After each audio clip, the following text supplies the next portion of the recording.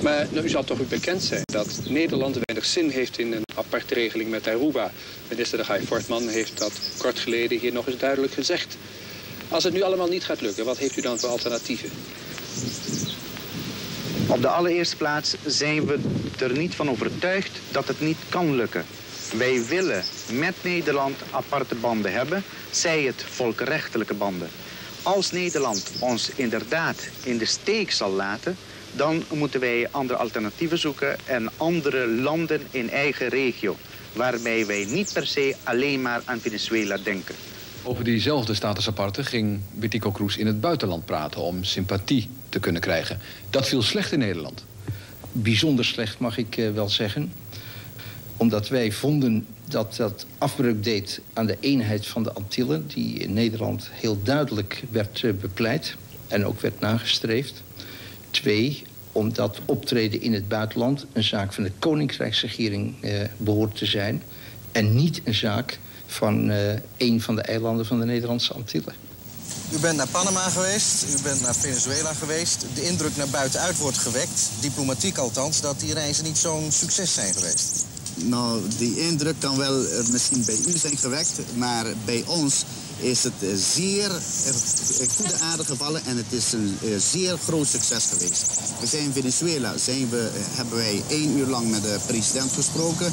We hebben uren met, met, met de minister van Buitenlandse Zaken gesproken. En in, in, Panama hebben wij dus ook functionarissen, vooral op buitenlandse politiek, hebben wij gesproken. En ze hebben allemaal gesteld dat een streven van een volk uh, om de onafhankelijkheid te realiseren... dient de steun te ondervinden van welk soevereine natie dan ook. Maar hebben zij u gevraagd ook om, om duidelijk te maken... waarin u zich als volk dan onderscheidt van de rest van de Antillen? Dat heb, hebben zij niet gevraagd. Wij, wij hebben ons volk, wij hebben ons territorium... en wij, staan, uh, wij stellen ons op het standpunt dat wij onafhankelijk willen zijn. U gaat nu naar Nederland toe, heb ik begrepen, in januari. En wat is uw missie daar? Wij zullen uh, nogmaals de Nederlandse politici proberen te overtuigen van de streven van de Arubaanse bevolking. Wat wachten we eigenlijk van deze missie? Nou, in ieder geval dat Nederland, of de Nederlandse politici, met Aruba aan tafel gaan zitten om de onafhankelijkheid van Aruba voor te bereiden. De ontvangst op Schiphol door een groep eilandgenoten liet niets te raden over Kroes populariteit onder zijn medestanders.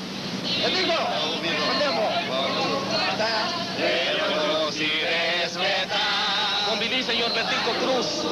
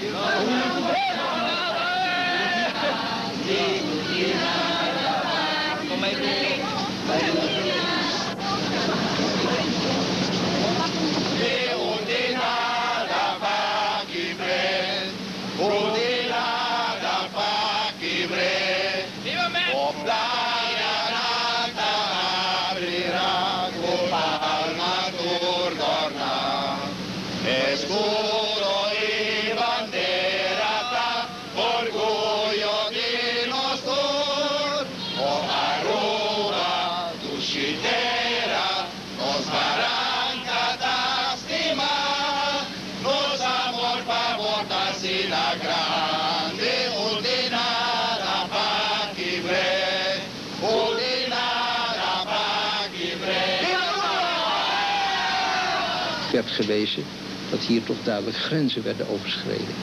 Het gesprek heeft verder niets opgeleverd.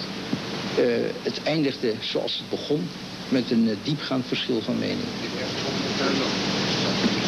De Arubaanse delegatie heeft heel duidelijk gemaakt dat uh, hun hoofdargument voor de activiteit is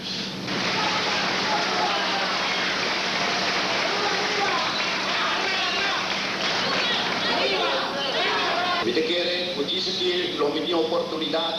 Vivir profundamente en la lucha de los pueblos, pero ahora aquí simplemente me quiero hacer uso de palabras de oportunidad.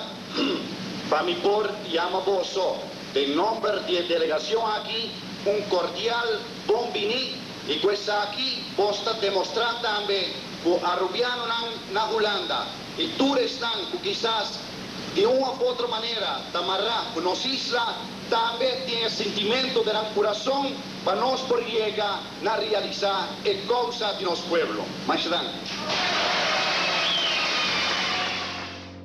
Wij voelen ons verraden door Nederlandse politici, want zij hebben ons bij de totstandkoming van de huidige rechtsorde beloofd dat wij een gelijke vertegenwoordiging zouden krijgen in, in de Staten van de Nederlandse Antillen.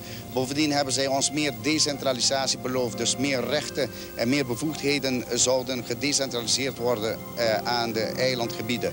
Het tegendeel is geschied en sinds eh, enkele jaren zijn we nog bezig, maar eh, alle beloftes vage beloftes opzij te zetten om de, deze wens van de Urbaanse bevolking uh, te kristalliseren.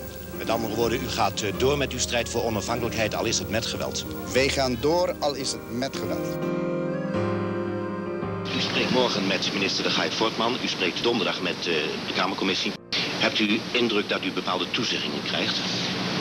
Wij kunnen niet zeggen dat wij de indruk krijgen dat wij bepaalde toezeggingen krijgen. Maar wij zullen van onze kant wel eisen dat wij bepaalde toezeggingen krijgen. Want wij willen niet met lege handen teruggaan. Dat, uh, dat is gebaseerd op een driehoeksverhouding. Een koninklijke te formeren tussen uh, vertegenwoordigers van Aruba, Curaçao en Nederland. En dat kan ik uh, kan stellen dat dat in goede aarde is gevallen. Dit vaststellende meen ik dat de basis gelegd is voor datgene wat de inzet was van deze conferentie. Ik dank u allen hartelijk en met volle overtuiging voor uw inzet, voor de overgave waarmee u het werk deze week heeft willen doen, voor uw geduld met uw voorzitter en uiteindelijk voor de politieke wil om met elkaar een akkoord te sluiten. Ik hoop dat diezelfde eigenschappen de komende jaren ons werk zullen blijven kenmerken. De conferentie is gesloten. Dank u wel.